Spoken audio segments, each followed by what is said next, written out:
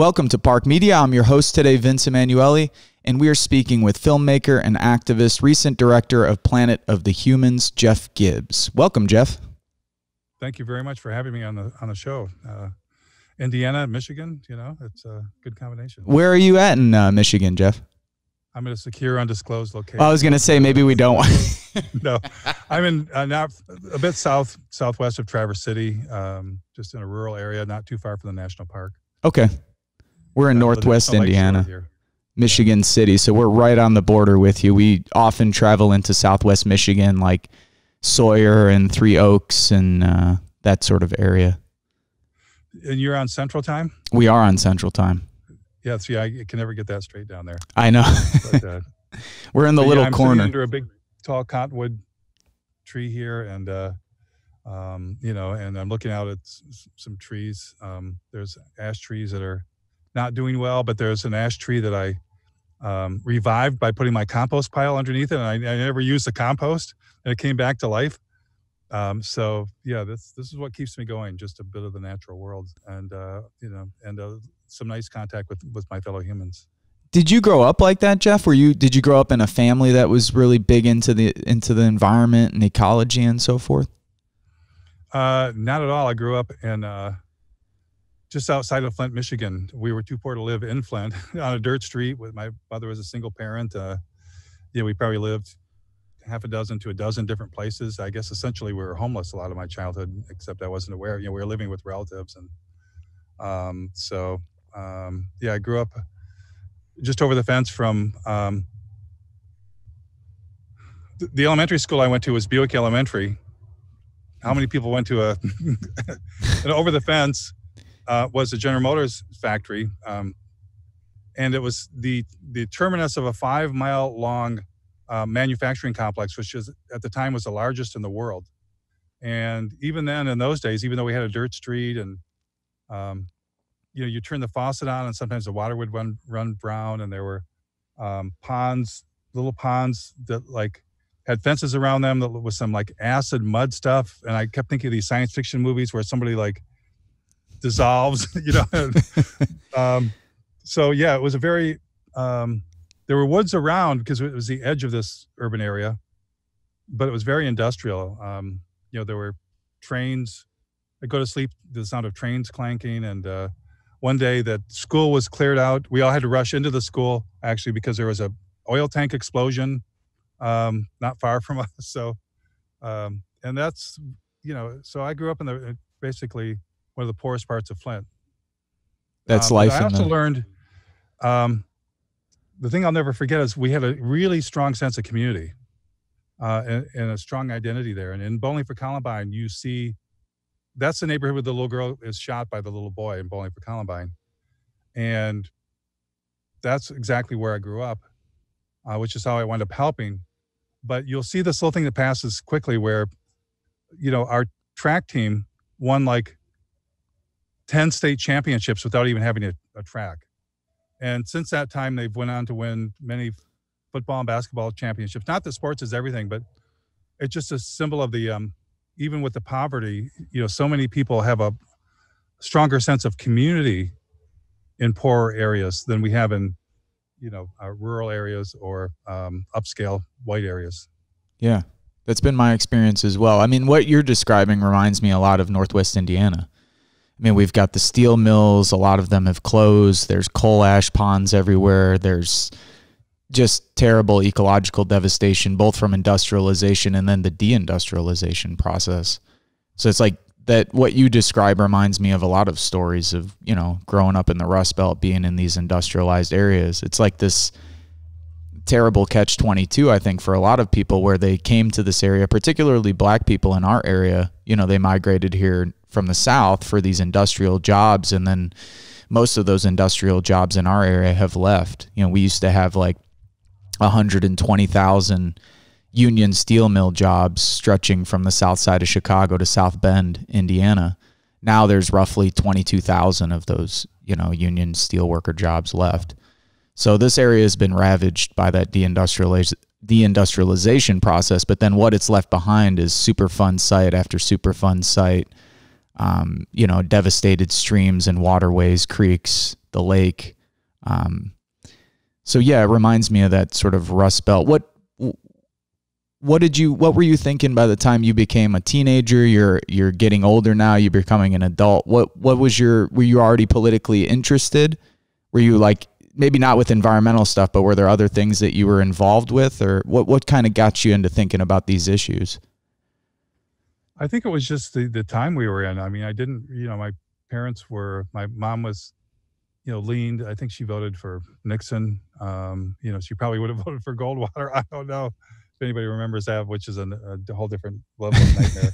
um, but and uh, yeah, I, I think it was just being tuned into different things. First of all, the thing that tuned me into nature was, and I once I worked with kids that were abused or, um, you know, um, had lots of issues. I found that no matter where you grew up, you had like a tree that you would climb in and just make it your own, or a little spot in a field, or a little abandoned spot in nature where there were flowers, or maybe even under a bush when you were littler. Um, but that's helped keep keep me going. Was just this. There were people around that, that did seem to to care, and you know I could go off and just sit in nature, even in, in that urban environment. Um, so you know, just I mean, just just the standard things for my generation really impacted me um, you know, having nightmares that nuclear bombs, the nuclear bomb had went off outside my window, literally jumping, uh, waking up in a cold sweat, um, watching the Cuban Missile Crisis unfold, and realizing, you know, even at a small age that, um, you know, we it could happen just like that. And then, I don't know why, as you see in the movie, when I was, you know, eight or nine years old, um, we had moved to an apartment building, um, moved in with um, my, my mother's friend and they were this woods that I used to play in. I thought I was in heaven because there was this tall woods. And one day I came home from school and a bulldozer was knocking the woods down. And me and my cousins, we had a little bit of Rambo or something in us. Uh, and we used to run wild through this this country area. And I thought, hmm, I got to put a stop to this. So I really did try and figure out how to block the trails. And, you know, nothing was like that was going to work. And I really did wind up at the very end. It wound up parking near our um, apartment buildings and putting sand in in uh, what I thought was the gas tank. Could have been the oil. Oil. I don't. I didn't know at that age, but I'm not recommending that kind of um, action. but I was just so distraught. I couldn't believe that people were allowed to bulldoze down a forest. And uh, what's not in the movie is my mother explained to me. She said, "Well, they had to do the same thing for the apartments we're living in," and I kind of didn't want to accept that. It's like, oh. Um, so, um, as a teenager, I was really into science, into physics, into science fiction. That was my life. And then, um, and then you know, my senior year of high school, we switched. I switched schools and wound up meeting um, Michael Moore, and uh, that's when things kind of uh, took off. But I think something just sensitized me to. Even then, I've had this feeling. This this industrial civilization, something's not quite right. This is just not how things are meant to be. I just didn't have an explanation for it. Um, and now I think maybe people like us that are from a place where the end of the world in some ways has already arrived. Um, you know, I used to call after Katrina, I went down in the Gulf Coast and was thinking about making a documentary about what had happened after Katrina. And when I saw what happened to New Orleans and the Gulf Coast, I said, "Oh, this is just Flint in a day." Mm-hmm. Mm-hmm. You know, we've already been bombed out, and shut down and poisoned and polluted and um, people desperate. Um, right. So I, I, think there's something about being from industrial areas where there's been this decline that maybe allows us to feel differently about. Uh, we can feel in our bones that the future of this civilization is not infinite. Well, as you mentioned, we're already sort of seeing the end of it in places like this. Did you um, immediately get into filmmaking, Jeff? When you met Michael, oh, no. what kind of issues were you guys? So you're in high school. What were you doing? What kind of issues uh, were you involved with, sort of through your 20s and so forth? And I'm only asking this sure. many background questions just to kind of humanize you, and you know, because there's a lot of people yeah, out there right now who are, I think, interested, and they look at some of this as I'm sure you've noticed over the years, and they're like, I don't know if I can get involved. Is that for me? Is it not for me? So I think some of these personal stories right. help. Yeah, I think it's good. That's it's um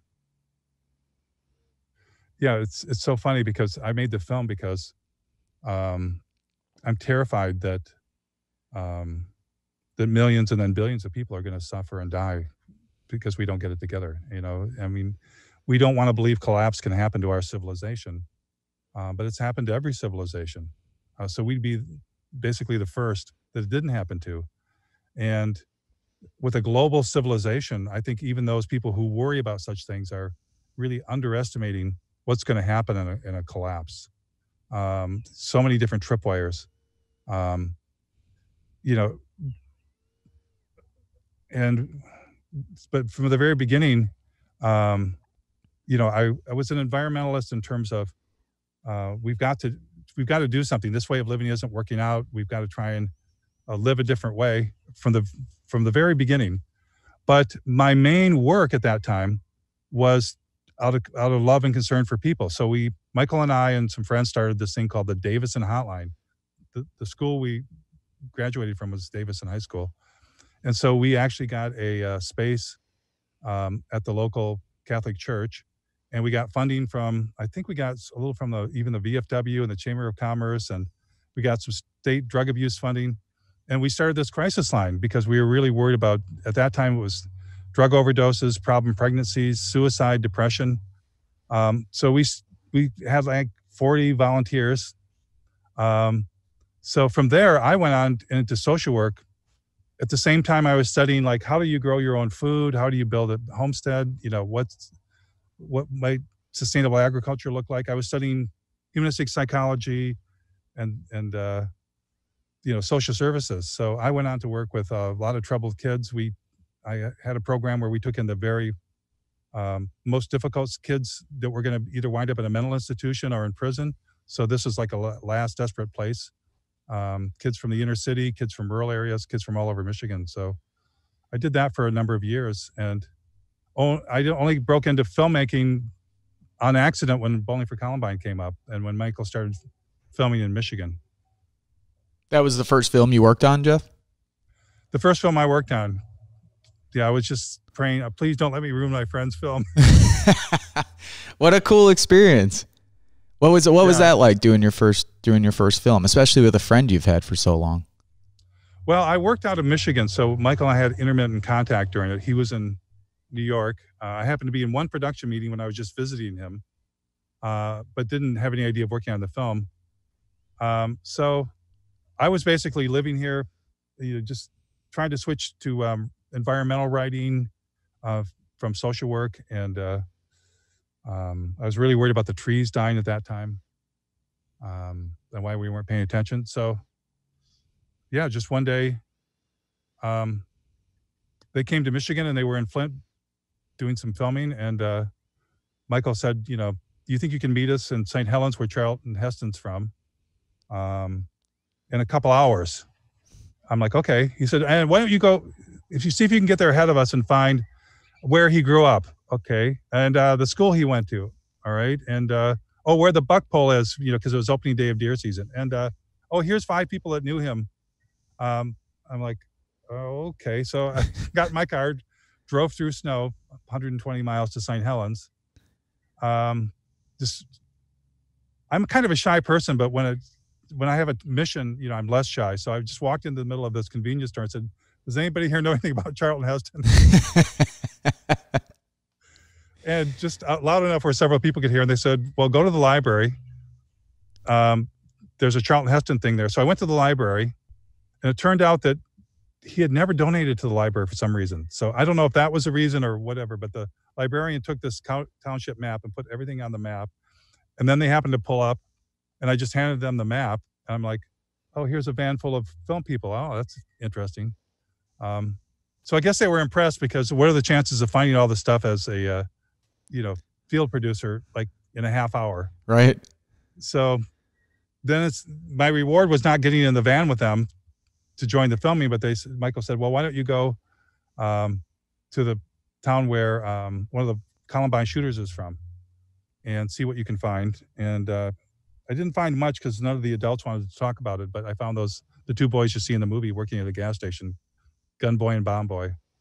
Um, so so I went to this bowling alley next to the gas station where they worked and uh, asked if we could film there.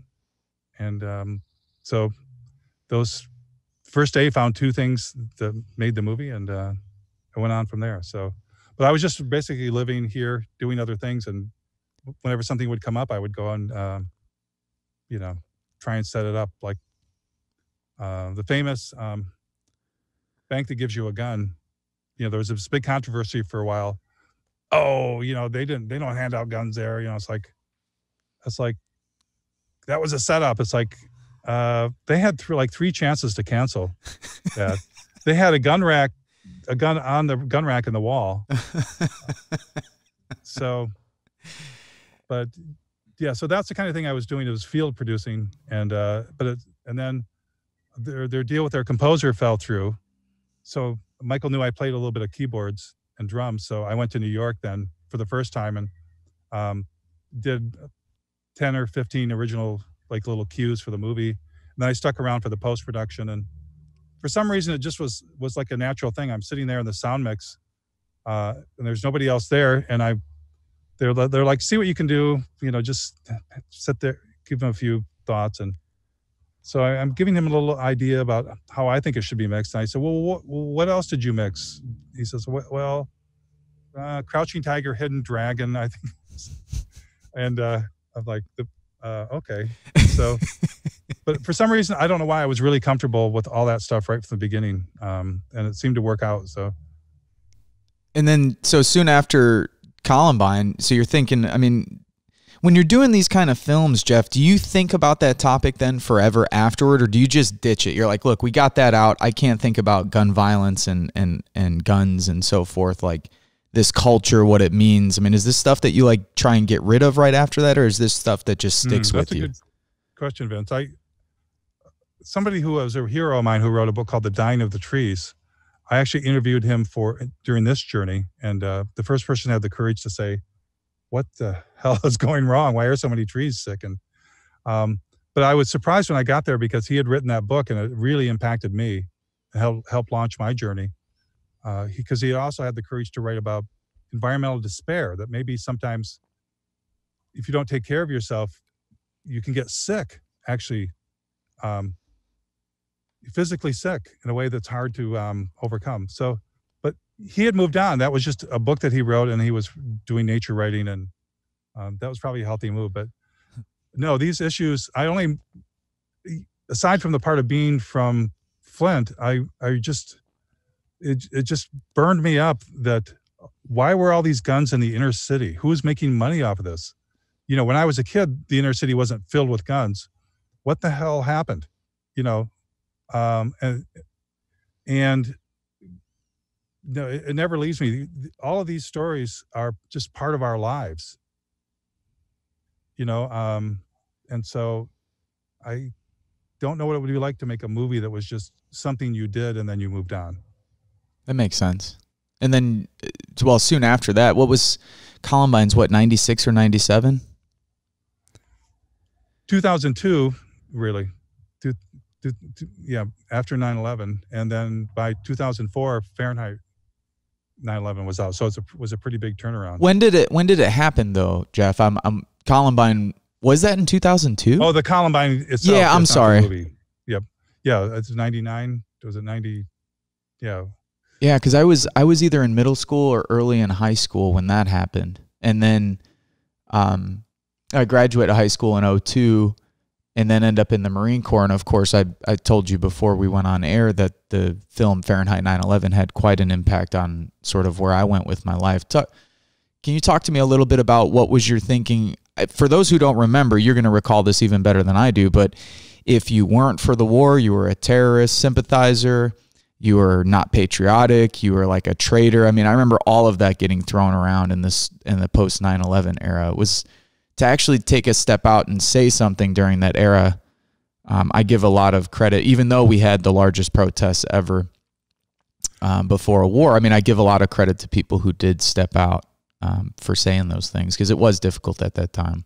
I think people might forget that now. Yeah, it's easy to forget. It's a good reminder because you know obviously we're going through some. Uh, uh, we've had you know we had eight and a half million views approximately in our film in you know, around five weeks, which is pretty phenomenal. But a lot of people are really pissed off, uh, powerful people that uh, this story got out there, and uh, you know, trying to put a stop to it. And they're, they're they seem pretty well organized. Um, so it's good to remember that, um, you know, Bowling for Columbine was very controversial, and uh, Michael's um, anti-war speech during the Oscars, um, there was there was basically crickets from the left and from Hollywood, you know, uh, standing up for him.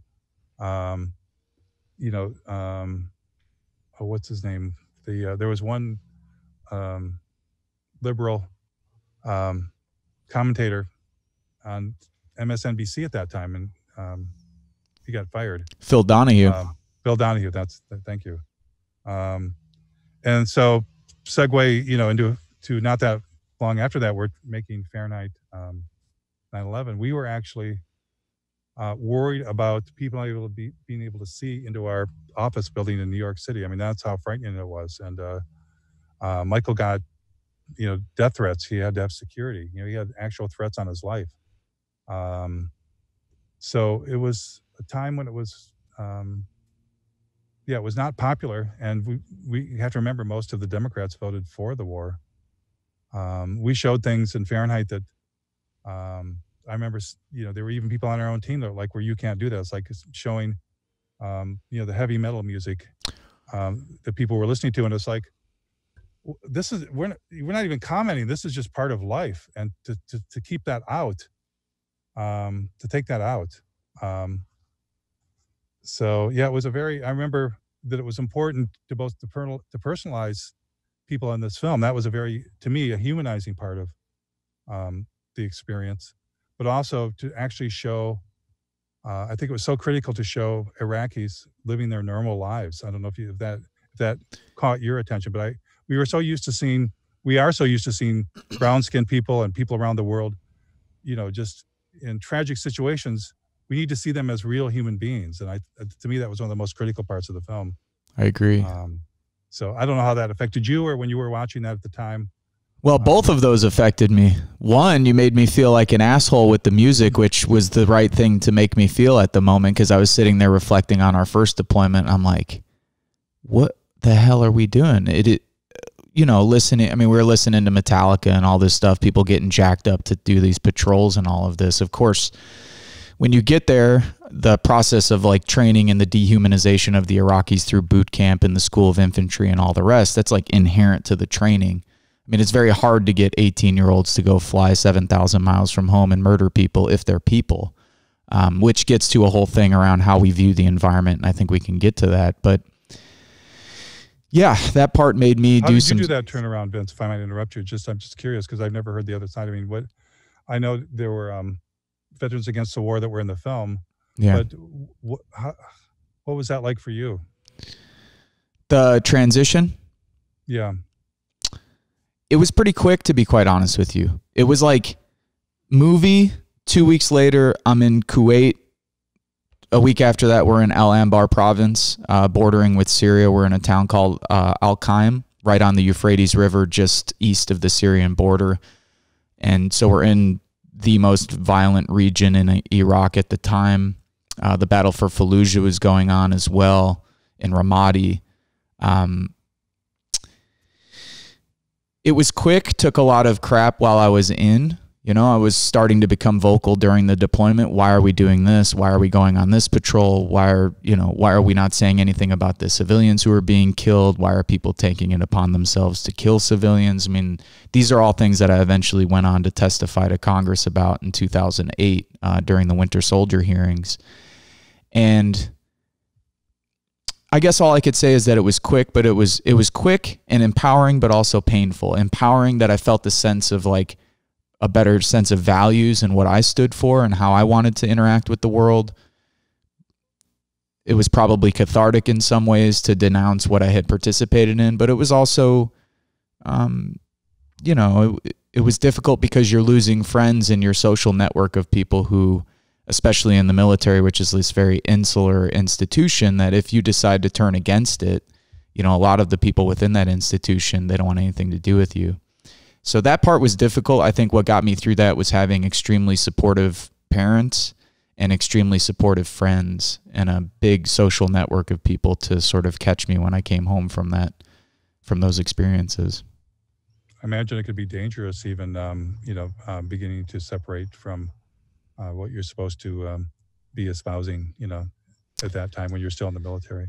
Yeah, they gave us. Uh, my friend uh, Nick Epstein and I were pretty vocal the whole time, and they would give us the worst uh, duties you can have. You know, so uh, worst positions in the convoys, worst uh, work duties, and you know, putting us in as dangerous of positions as they could. That was their way of sort of telling us to keep our mouths shut. You know, uh, one of my um, pieces of music for Fahrenheit because I did the music, uh, the original music as well. There's much, lots of music and besides mine, but uh, you know, will they ever trust us again? And that's you know and everything to me everything is done with love um, because even though we might seem like we're calling out uh, you know ourselves or, or, the troops or the, the, bush administration or you know um, it's it's really um, a message of love and that's that's the basis for this it's uh, reality you know I, I, think of my movie as reality therapy for humans and mm. sometimes we all need that and uh, um, but I remember the first dozen or so times as we were watching Bowling for Columbine over and over again, I just, I, you know, I was just choked up or crying every single time. And the, the same with Fahrenheit when the, um, we had our premieres, I was just, you know, everyone, I was devastated. People were devastated. But the thing that um, I remembered was that wherever we went, we, I've never this has never happened before since. People were talking about the movie. You'd ride the train and people are talking about the movie. Um, go downtown and you know, um, there were people lined up opening day for the film. Uh, had been announced like it's. I thought it was just hours earlier that they were going to move up the opening, and there were people lined up down the block, and they had signs and organizing things, and people were selling things, and it was like wow. So I remember when it came to Planet of the Humans, thinking the most important thing isn't isn't. Um, sometimes you'll see a movie that's really good, but you wind up not talking about it after the film. It's just like everything's kind of buttoned up. Um, I wanted to make a movie that uh, people would would talk about, and I wasn't necessarily seeking controversy, but just that it brought up things and feelings and emotions that would give you something to discuss. And um, I often say it's more important to ask the right questions than it is to have the wrong, you know, the right answers because if we have the wrong questions, we're just gonna never we're gonna never get there. So that was my mission with this movie is um, I know this might sound weird, but to me, Planet of the Humans is kind of like a trailer for all these dozens of things that we need to think about and explore further um, that you can't possibly put into one film. Um, so that's that, that's kind of the bookend for me is um, could this be something that people are discussing like they were Fahrenheit? So one of the one of the people, well, a couple things, and we can move backwards now because we're going to jump ahead. I when Planet of the Humans came out, we had an uproar of people from Michigan City who were just happy as all hell, and I can tell you why. Because three years ago, uh, to the chagrin of my friend Sergio and other people who tried to talk me out of this. I'm a very stubborn person, Jeff. and uh, mm-hmm. we had a call from a local organizer in East Chicago. He said, Look, there's a young woman who would like to come here. She's with the Beyond Coal campaign. And I told her if she wants to come to Michigan City, that she needs to get a hold of you and she needs to get a hold of the community organizers there. Now, I had never worked with the Sierra Club, I had never worked with any of the big green organizations.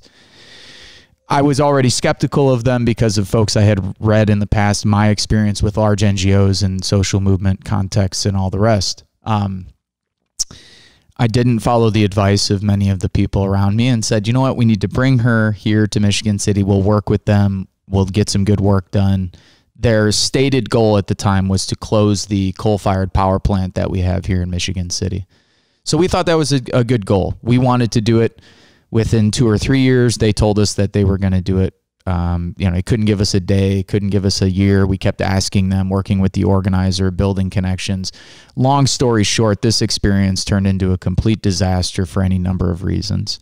Um, some of which were the personalities involved, but also just the whole structure. You know, we couldn't get answers from the Sierra Club. The Sierra Club was making decisions behind our back uh, with NIPSCO, which is the the company who the power company here. Um, they eventually release, without letting any of us know, they release a, a shutdown date of 2028 which wasn't negotiated with anyone, which none of us agreed to, which none of us were happy with. This blew apart the entire campaign. Long story short, everyone in Michigan City who has any sense of what happened absolutely loathes the Beyond Coal campaign and their experiences with big NGOs.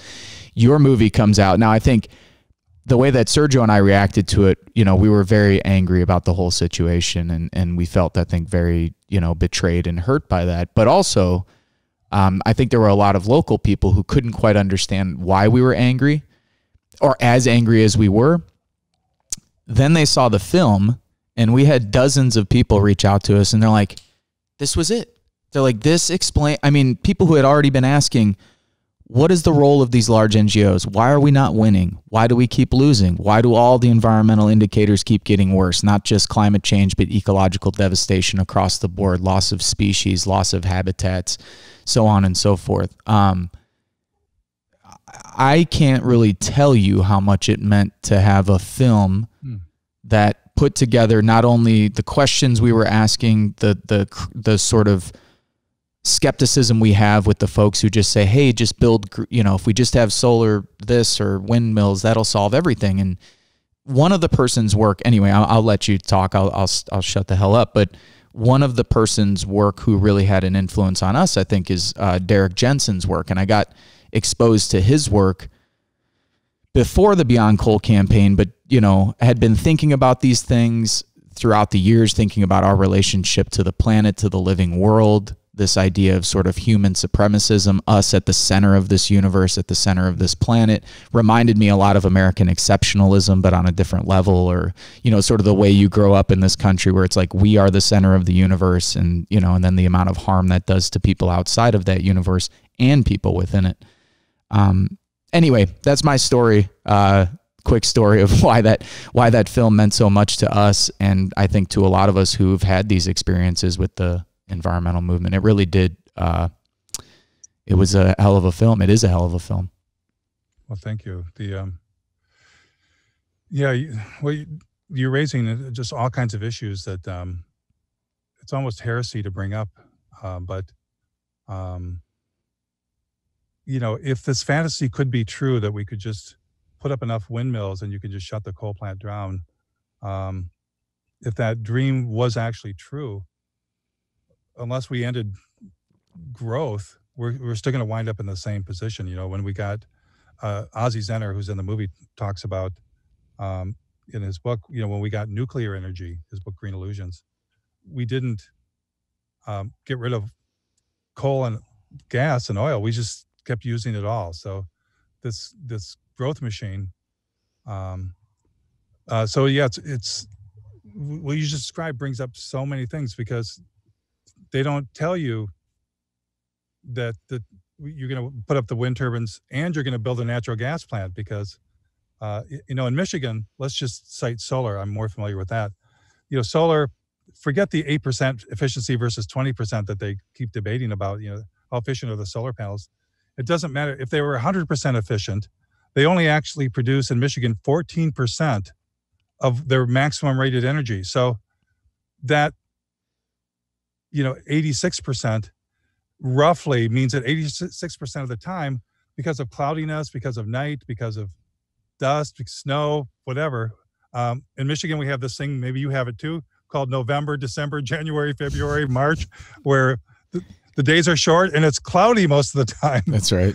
So you know that's the gap that means that you have to have these other power plants going. And so uh, this fantasy that you can just close. Now of course you want to close the coal plant, but it becomes a little bit of a deceit, a false promise that we're just going to switch everything over and run it on. Uh, and then you discover, as in the movie, that um, you know all these machines are made from industrial civilization and that's what's so funny about the the accusations of um, um, that i don't care about um, you know people around the world or it's, it's we have a new form of colonialism in the form of mining and it's just mining just seems like this simple little thing it's it's just huge it's one of the top ways we're destroying the planet um, in one of the um, South American countries where the Amazon is located, I forget which one, um, the majority of their destruction of the, the rainforest is from mining. Overall, I think it's around 10%. Uh, and it's and so if you start to look how where the steel comes from, um, you know, and where the iron is mined in, in Brazil, and where the lithium comes from, and where the cobalt comes from, and the aluminum comes from, you begin to see all these horrendous environmental impacts. But you see all these southern hemisphere versions of colonialism um, that are very damaging to people in the environment and are not sustainable because anybody that's lived in a mining area, I've lived way in the north near the the old um, iron and copper mines in northern Michigan. There's huge areas that in this that are just abandoned um, and will be for a long time. You can't drink the water, the ground's caving in. There's landscapes that are devastated that you're roped off from. So, um, you begin to realize it's not the bargain that they advertised. Um, but then there's this whole other level of issues, and I, which I've never I've never talked about this before. I was thinking about putting it in my own podcast or in a, a future episode of, of Planet of the Humans, wherever we go from here, either the, another film or a series. Um, but oh, this is probably in the 90s, and I was trying to get in touch with what was going on with the environmental movement, and I, I kept seeing these events that would happen you know, on TV or on the internet. And I'm like, how come I never hear about these meetings? You would just see these, you know, conference on this and that. You know, this was even back in uh, Clinton Gore. I'm like, dang, I can never find out when these things are. They just happen. And then I began to, so, okay, um, how can I go to a Sierra Club national meeting to have input? I'm like searching, searching, searching. It's like it doesn't come up. Hmm. How can I go to a Greenpeace national meeting to find out what they're talking about, make plans. Search, search, search. It doesn't come up. How about 350.org? How about NRDC? And unless something's drastically changed in a few years, you realize when they mean join, they mean send a check. When they mean join, they mean come to their protest or come to their campaign that they've already decided that's been funded by, you know, a billionaire or by a, a foundation.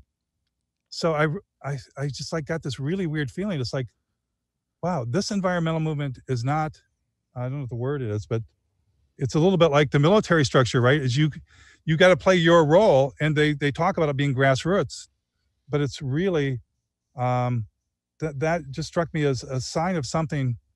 Um, so with with the Beyond Coal campaign, sure we want to close the coal plants, but your chance to to to to actually partner and be part of that story and part of that journey and to have a say should we be honest about what that means should we be honest about what the alternatives are you don't get a chance to participate in that you just are the downstream recipient of what they decide. And i saw that in the peace movement too. It's like because of my connection with Fahrenheit 9/11 and, I was able to, to to go to a meeting where the next big protest was being planned. I'm like that is so weird that these like 12 people are sitting around this table planning the next protest representing these groups. It's like there's never a call you know for discussion about that. So even the peace movement i started to think is this really an anti-war movement is this really a stop the war movement or is it a movement for all of us to check a little box we had this protest and we did this uh, and i think the beyond coal campaign with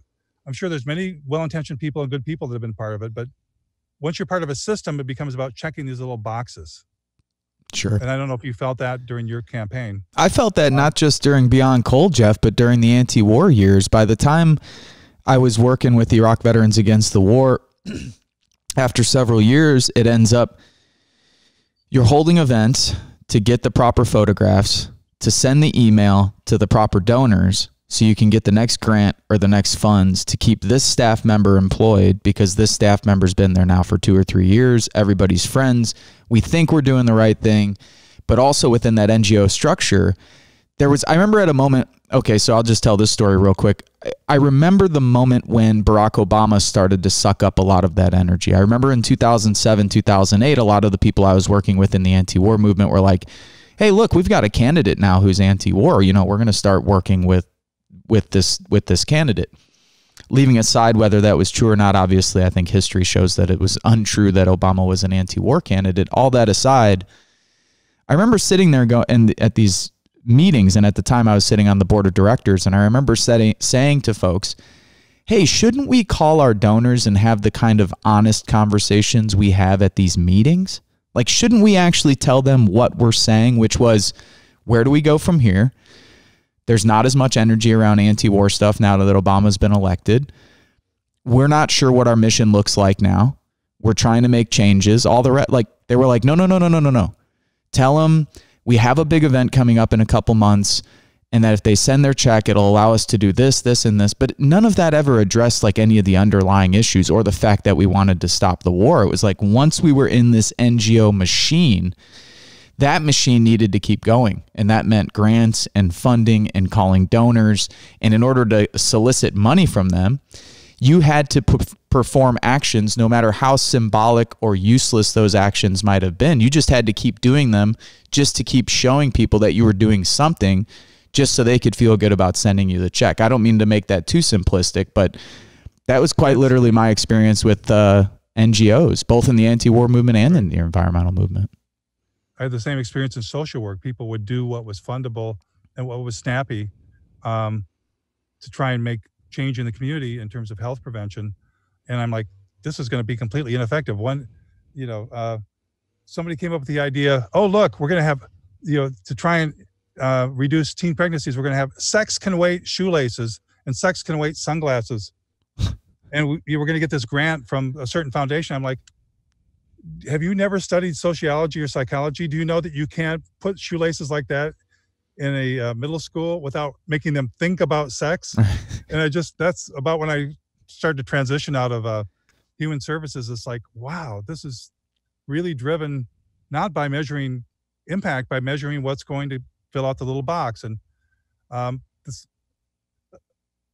we're talking about. I think th- this awareness and this airing out is really healthy. And maybe we'll come back and have a show and we can talk about you know where we're going things are going to go in the future but i think this is an important period we're in where we're um, you know assessing why we've been losing i think it's really important to look at why we've been losing um, one of the things i learned early on in making this film was i went out and talked to um, forest activists who had um, risked their lives who had um, had campaigns that succeeded in, in saving forests old growth forests in the pacific northwest and that the first thing they told me was that things were never worse than under Clinton Gore in terms of logging. Why would that be? Because people assumed they were environmentalists.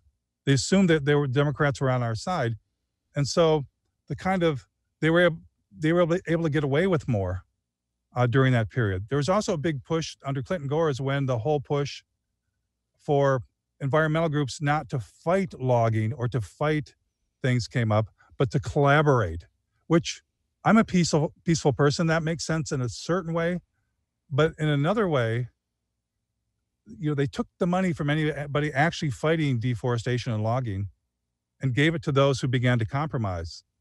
Um, so, I guess you need to compromise at some point. But what I've learned in activism is that you have if you don't start with a strong position, we are going to close this coal plant. We are not going to have this biomass plant. You know, um, you're going to lose if you're pre-compromised. Um, and then, according to the forest activists, um, and then the, the, actual groups would step in. The formal groups would step in and take credit for having for any success that they had. Um, but and another saying that one of them gave me, um, one of the guys who lost his funding, and it's it's uh, he's man, it was just really a sad story because he his policy was zero cut. You know, he didn't want um, he was just going to oppose logging. That's what his, so he wound up losing his funding. Uh, but he said, you know, all of our, uh, our defeats are permanent, our victories are, are temporary. Talking about fighting logging. And that stuck with me. And I don't think that has to be, but in the context of this perpetual growth and this machine that just keeps expanding and expanding, whether it's in the name of fossil fuels, in the name of nuclear power, in the name of um, you know more clean energy. Um, we should stop calling it clean energy. There's got to be some other word. Um, it's it's energy that exports the damage somewhere we we don't feel it. It happens to other people. Um, but you know that our victories are temporary because as the human or all of our human needs and industrialism keeps expanding it just it's gonna it needs more and more and more so um that's but you know and the other thing i like to do is which maybe we can do in a future time is you know just think about where people have succeeded because people have stopped things. And you know i'd like to even you know for for the next movie or for the for the series be th- thinking about you know what cultures have actually successfully navigated this territory. Have any? Uh, there were cultures that were sustainable for um, for a long time until they got destabilized. You know what can we learn from them? Um, but this this global civilization uh, this global industrial civilization that's expanding and expanding without bounds uh, this has never happened before in the history of the planet. Um, and that's really you know not to meander but that's really another reason i made the film is to begin to see ourselves um, even though some sure, sure parts of our culture are more to blame industrialism and capitalism but the frame of seeing ourselves as a single species that's taken over an entire planet. Um, and whether that even in theory could be sustainable for us to dominate every ecosystem on earth. Um, i happen to not think so but it's a question that we don't even ask.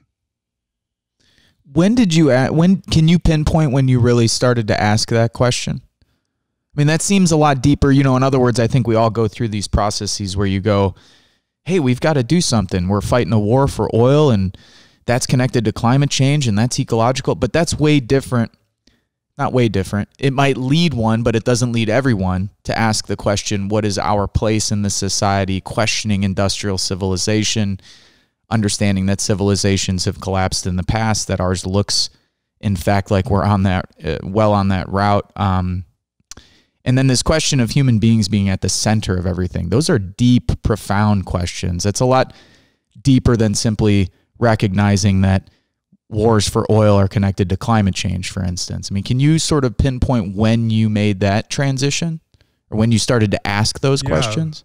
I, I can. I don't know what triggered it exactly. Um, I think I was even not that, that aware of the trees. For some reason in the late 90s, I, I think it was the availability of the internet. I started to ask a question that maybe I've had my whole life, which was, um, you know, how are we going to know when things fall apart? What are the signs when things fall apart? And I began to notice that all the science fiction movies, they usually go from everything's normal, everything's normal, everything's normal, something happens and now you're in Mad Max world, you know, or it starts out like The Road. Have you ever seen The Road? Yep. I I recommend that movie, The Road. Um, it's, you know, it's normal world. The couple's in their apartment. There's some noises. There's some sounds. There's a fire. He starts to fill up the bathtub with water, which is very interesting because Chris Hedges. Um, mm-hmm. I asked him, you know, having him having lived in a war zone, what's the first thing that goes? He says, "You come home and there's no water in the tap." I'm like, no water in the tap? Yeah, there's no water. It's like water. People die getting water in a in a in a war zone, right? Yep. So in the road, when he's filling up the bathtub, um, she says, "What are you doing?" And of course, he's realizing that it's going to fall apart, and you and the water is going to go. So, and then the next thing you see, it's this completely dead world. So, I, I just began to notice that it seemed like there was this blind spot where nobody was really uh, gaming, mapping out, you know, laying out exactly step by step. And so as I noticed the trees were dying, maybe that was one of the first little things I'm like, could this be one of the signs that we weren't even expecting, like a bunch of trees dying? Um, and I just started searching the internet and found, and still to this day, I don't know that anybody, some people disagree. I don't think anybody's done the definitive, like, here's how it's going to go down, people, civilizationally and environmentally. Like, we've heard of pandemics, but who could have pictured how it would actually shake out? And when when does the, the next pandemic come and then Ebola also rises? Or when there's not enough people to keep the nuclear power plants running or an eye on them. Um, you know, or when the algae blooms that are toxic. You know, I think there's so many tripwires we're not aware of. When the fresh food that we're all stops being shipped in, um, you know, and even what's happening right now with um, the concern about racial justice and the way um, the gap between um, the people where I grew up in Flint, you know, in, in, in uh, Minneapolis and all around the country. Um, I know money isn't everything, but what I just saw a statistic where white families have 10 times more wealth than black families. And the violence, I think Trump is a symptom of civilizational collapse. And his urge for violence, I think the right is actually suicidal. Yeah. And so the tripwires of people can't take it anymore. That's what we're seeing. You know, the injustice of um, the disparity is just so cruel and evil. And on top of that, the direct violence um, being done to black men and women in this country. So I think there are cultural tripwires. Uh, what if what if uh, Trump, Trump's uh, crazy people with guns actually took him seriously? Um, you know these. So that's what I'm worried about. Is um, only during a time like this when we sort of somewhat have it together could we actually map out a gentle landing for the environment and for all the people, especially those who are not being well taken care of now.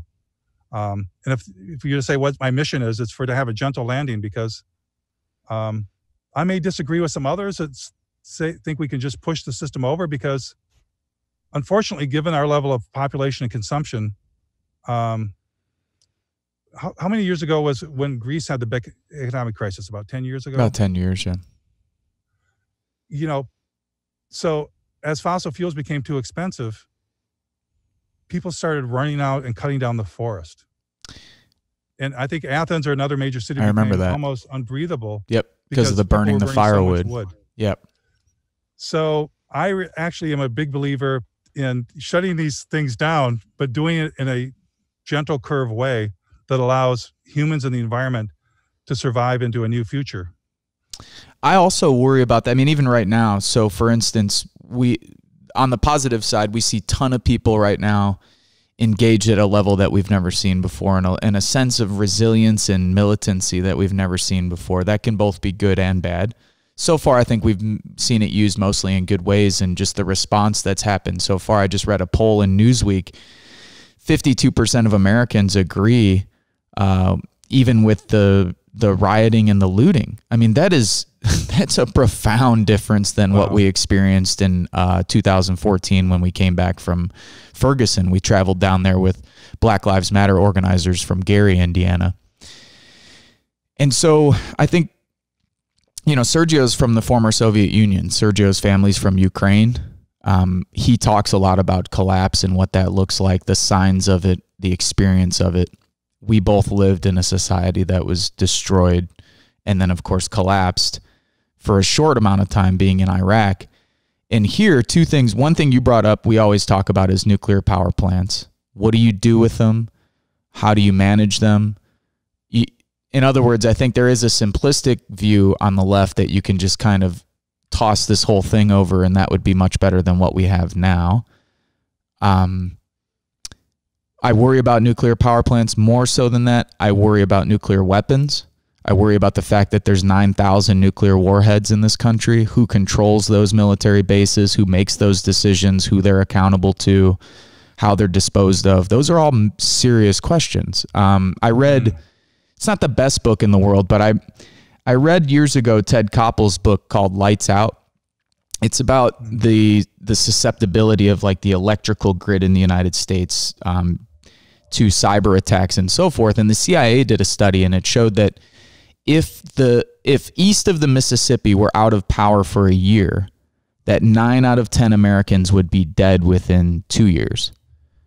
So we don't want that.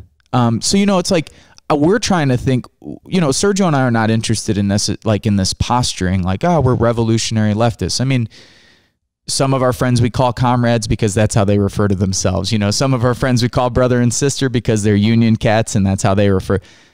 We're interested in getting this work done. We understand i think the severity of the issues um, I think we also understand that there needs to be radical changes, but we don't want to just say simplistic things to people. And I think that's one of the reasons why we both appreciated the movie so much, which is that one thing I've learned in 15 years of doing this work, which isn't that long, but long enough to learn some lessons, and that is there are no easy answers. So whenever I meet someone who's an activist or a thinker, a filmmaker, a writer, and they say, "Oh, it's really simple. You just do this," my skeptical eye starts. I start saying, "Wait a minute. I haven't met anybody in 15 years that's ever told me that any of this is easy." So I appreciate that as well, and um, well, I guess one of the things I did want to ask you too, because I don't want, I know we're probably already over time with you, but did you expect this kind of a pushback? Because I don't, I don't, I know you've done other interviews where you've talked about really getting in depth in the film and the and the claims made in the film and the critiques of the film. I'm not really so much interested in those details in this interview. I'm really interested in sort of your sense of did you expect this kind of pushback? One, and then two, if you could kind of bring folks up to speed as to what's happening with the film right now, how they can view it if they can view it at all, and what we all need to do to make sure that we fight this uh, censoring, this censorship. Sure. Um, no, I didn't expect. I guess I expected um, pushback, but I I did not expect, which was maybe a little naive when I think about it, but I didn't expect the level of um, lying and abuse and um, you know mean spiritedness. I guess I thought that it would be more uh, debate. I, I never expected to be. You know, we submitted a. Uh, I immediately after the uh, one of the attacks. I in the Guardian. I uh, within days wrote a response.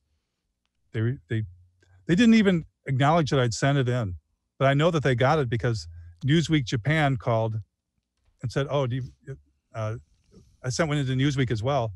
uh, to respond to their attack, and nothing.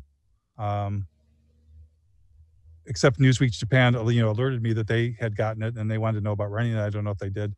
Uh, the Guardian didn't respond. Um, many, a lot of the the very um, standard leftist websites have like not published our response. I'm like, wow, that's bizarre. Um, I just think it's a testimony, you know, if I may say so, to the power of the film um, and to how much they're threatened by the millions of people that have seen it. And if you move away from the social media stuff that their people are pummeling, you know, the comments, uh, the, the, the, reaction, if you filter through that, has been very, very positive. Um, so I guess I didn't expect the cruelty um, and the, the censorship um, part of it. I just didn't anticipate that. Um, you know, but the thing that does make sense is this is not a movie about energy. It's a movie about um, to, to, try and rip away the story, pull away the blinders uh, that this somehow this green miracle is going to save us from collapse. And even if everything they say is true, it's not going to save us from collapse. And I think the sooner we can accept accept that we're in the time of collapse. One thing Chris Hedges said to me, uh, you can confirm if this is correct, is that you know, the other thing that can be true in war zones is that you never f- can feel there's a sense of mission and purpose and aliveness that, that everything's crystal clear and you have a deep investment in reality to survive. And if you're not invested in reality, you're probably not going to make it, yep. or, or, far less likely to make it. So, um, but I think that's the stride we can have once we, as a individuals and as a culture, accept the collapse is real we now we be, we can begin to plan for it. Let's plan for a uh, use resources that we have to build a train system that can last a, a thousand years to get us through this bottleneck. If we're going to have any trains at all, let's be, begin to think, invest, explore. You know, how would you keep water going to a place like Flint, or when collapse comes to Minneapolis, or to Traverse City, Michigan? You know, where I live. How are we going to plan for a different future? Now that that's becomes exciting, and something for us to do and to focus on. Um, but first we we we we have to dispense with this story of green capitalism and, and green energy going to save us and move into the full light of reality Um, and I think we'll all be in this far better place because I actually think we're a bit neurotic and crazy living in denial. As far as the movie, um, um, I don't know when this will. Um, we hope to have the movie up in the next few days and check uh, on our website and you'll see how that's going to transpire. Um, Excellent. So in fact, that's what we're working on right now as we speak. So uh, that's Excellent. one of the reasons I have to run. But um, but it's it's been great to talk to you, and I'm re, you know I enjoy. I, I learn as I talk, but I also learn as I listen. And thank you for sharing. And uh, I can't wait to have, spend more time together and uh, to continue to discover this and and to learn more about this future that we haven't really thought enough about. Like what is what are the tripwires? What do we need to be concerned about? What kind of plan do we need to make for humans uh, that we all love and for the, the non-human species that we all love to both survive I agree. and That's- thrive, not just survive but thrive. That's a great way to end, Jeff. You're uh you're a fun person to talk to. You're very thoughtful, and you've got a, a, a had a lot of hell, a hell of an experience in the the movies that you've been a part of making. Have, in my opinion, been some of the most important documentaries of my lifetime. So they really, uh, I think, shaped the way a lot of us um, have developed over the years. Documentaries are, you know, they're very important, very powerful. So thank you for your work, Jeff, and is is really really a pleasure to speak with you. Thank Thanks you, for Ben. taking your time. Thanks. Thank you, and I think you know it's uh, as long as we're all doing it, remembering you know however vehement we have to be, or strident, or you know direct. It's all based on love, and that's the if we just if that's the basis for what we do, then I think we're on the right path. Thank you for that reminder. All right, Thanks, Jeff. Have a good one, man. Bye. Take care.